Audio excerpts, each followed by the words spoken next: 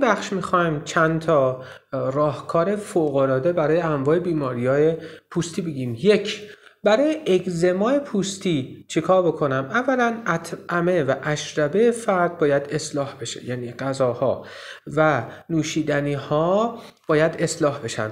غذاها به این صورت. اینجور افراد می‌تونن از سالاد خیار استفاده بکنن به علاوه کاهو.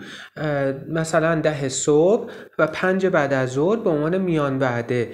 سالاد خیار کاهو مقداری روغن زیتون و مقداری آب لیمو. این به عنوان یک سالاد میان وعده است. به عنوان صبحانه از چی استفاده بکنن؟ از همون دستور خاکشرو بارهنگ می‌تونن استفاده بکنن به عنوان ناشتایی. اما به عنوان صبحانه بهترین صبحانه ها این هستن. مربای به سیب زرشک. و یا اگر خیلی گرم مزاج هستن مربای زرشک مربای آلبالو مربای تمشک. مربای شاتوت. اینها مرباهایی هستند که برای کسانی که اگزما دارن فوق العاده هستند مربای کدو می‌تونه به عنوان یک رطوبت دهنده پوست استفاده بشه و عالی برای کسایی که اگزمای پوستی دارن. کسانی که اگزما دارن به هیچ وجه نباید ادویجات تند غذاهای تند پیاز سیر و هر چیزی که تندی زیاد داره و ترشی خیلی زیاد داره استفاده بکنن. بعد از اینا پرهیز مطلق داشته باشن تا اگزماشون انشاءالله به سرعت درمان بشه. رب انار شیرین یک قاشق غذاخوری. روزی دو بار این افراد می‌تونن استفاده بکنن چون مصفای خونه هضم رو کمک می‌کنه و رطوبت خوبی هم می‌تونه به پوست بده. خب به عنوان میوه ما چی استفاده بکنیم؟ افرادی که اگزما دارن میوهشون قطعا نباید خربزه و انبه و میوه های گرم مزاج باشه. باید از لیمو شیرین پرتقال نارنج خیار اینها به عنوان میوه ها و میان وعده های روزشون می‌تونن ازش استفاده بکنن. حتی از گیل هم می‌تونه کمک کننده باشه. بعد به عنوان آب یعنی به جای آب عرق کاهو عرق کاسنی حتی اگر خیلی اگزماشون شدیده می‌تونن توی اون عرق کاهو و یا عرق کاسنیشون مقداری مثلا یه قاشق چایخوری قدومه شیرازی بریزن بگذارن بمونه و بعد این رو تناول بکنن. پس بهتره به جای آب از عرق کاسنی و یا عرق کاهو استفاده بکنید. روی اگزماتون خیار رو یا رنده بکنید و یا ورق ورق بکنید و روی ناحیه اگزما بگذارید. روزانه دو الا سه نوبت. مدت حداقل 15 الا 20 دقیقه بمونه. و یا اینکه اگر سختتونه از روغن خیار استفاده بکنید. خیلی برای اگزماهای پوست عالی هستش. حالا روغن خیار ندارم. شما می‌تونید از روغن بنفشه پایه بادام شیرین استفاده بکنید. برای اگزما فوق العاده چون مرتبه و رطوبت ده بسیار عالی هست.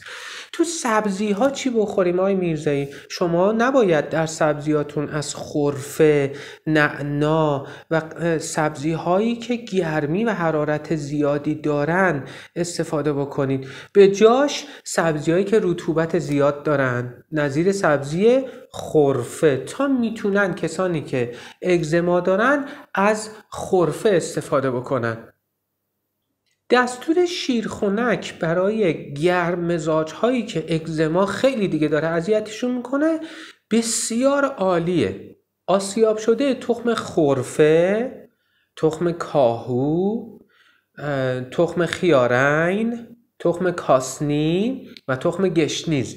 اینا رو به یک نسبت مثلا یک قاشق غذاخوری. با همدیگه آسیابشون بکنید آب جوش بهشون اضافه بکنید بریزید داخل میکسر انقدر هم بخوره مثل شیر مانندی میشه. بعد بگذارید بمونه درجه حرارتش بیاد پایین خنک بشه و روزی یک لیوان از این استفاده بکنید. حالا یه نفری میگه که من اگزما ندارم اما پوستم خیلی خشکه. به علاوه اون دستور خاکشیر و بارهنگ آیا دستور دیگری داریم؟ بله. این دستور عرق کاهو به علاوه کاسنی و شاتره و بیت مشک. اینا رو با هم ترکیب بکن یک قاشق غذاخوری خاکشیر بهش اضافه بکن. و یک قاشق غذاخوری الا دو قاشق غذاخوری سکنجبین. اگر سکنجبین عنابی باشه هم اشکالی نداره. این شربت رو روزی یه لیوان ازش استفاده کن برای خشکی پوست بسیار عالیه. دوم حتما سعی بکن روزی دو لیوان الا سه لیوان آب پرتقال استفاده بکنی. آب پرتقال برای خشکی پوست. حتی برای اون افرادی که اگزما دارن هم بسیار خوبه. پرهیزات کسانی که خشکی پوست دارن با کسانی که اگزما دارن مساویه. پس چیزایی که خیلی تنده خیلی ترشه خیلی شوره خیلی تلخه براشون مضره. پس اگر قهوه خوری خشک پوست داری اگزما داری باید بگذاریش کنار. فلفل ادویه کاری فلفل قرمز فلفل سیاه سیر پیاز خام اینها برای شما خوب نیست.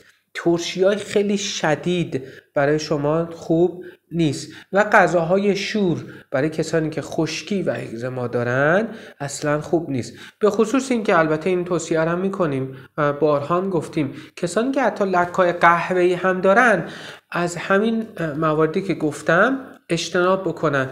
وای وای وای وای وای. خورما نمی‌دونید با پوست چی کار می‌کنه. پوست رو چون خون رو میسوزونه. و پوست رو به شدت خشک می‌کنه. بچه ها جنوبی ها می‌خورن. خب عزیز من جنوبی ها حتما باید خورما استفاده بکنن.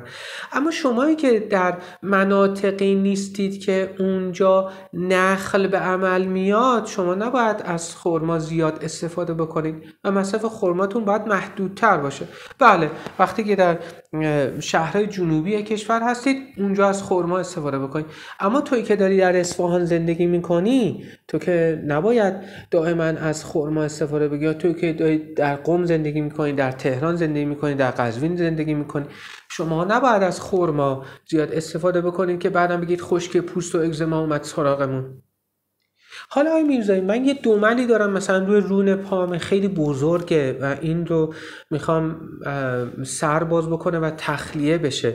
حالا که خب اگر می‌تونی تحمل بکنی بگذار بمونه تا آرام آرام سر باز بکنه. اما خب واقعا اگر نمی‌تونی تحملش بکنی و دردش خیلی داره اذیتت می‌کنه البته این تو پرانتز بگم اون تدابیر غذایی که اول عرض کردیم در پیشگیری از دومل ها بسیار اهمیت داره که ایشالا دیگه این نزله پوستی سراغ نداد اما حالا برای درمان چیکار بکنم. شما یه مقدار نشاسته رو با آب بجوشونید. و بعد این نشاسته پخته شده رو روی دومل دائما هی زمادش بکن. این باعث میشه که زود سرباز بکنه. و یا اینکه اسفرزه رو آسیاب بکنی. خیلی سختم آسیاب میشه. وقتی آسیاب شد با آب دهانتون خمیرش بکنید روی دومل زماد بکنید سرباز می‌کنه و تخلیه میشه. آیا اینکه روغن سیاه دانه رو مدتی دائما روی دومل بمالید تا به سرعت دومل برسه و سرباز بکنه.